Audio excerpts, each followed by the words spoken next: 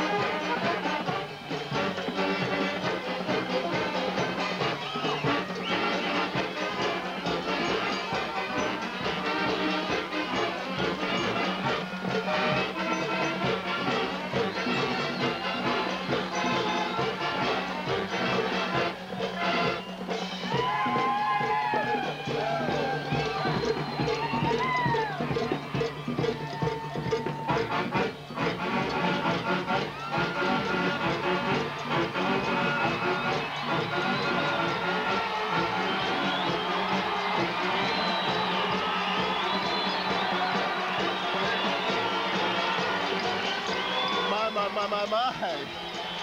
The Polish American String Band has come so close the last two years, and uh, Jim, you think they might come a little closer this year? I don't know. I, would like to congratulate the president, Don Keir, 40th year.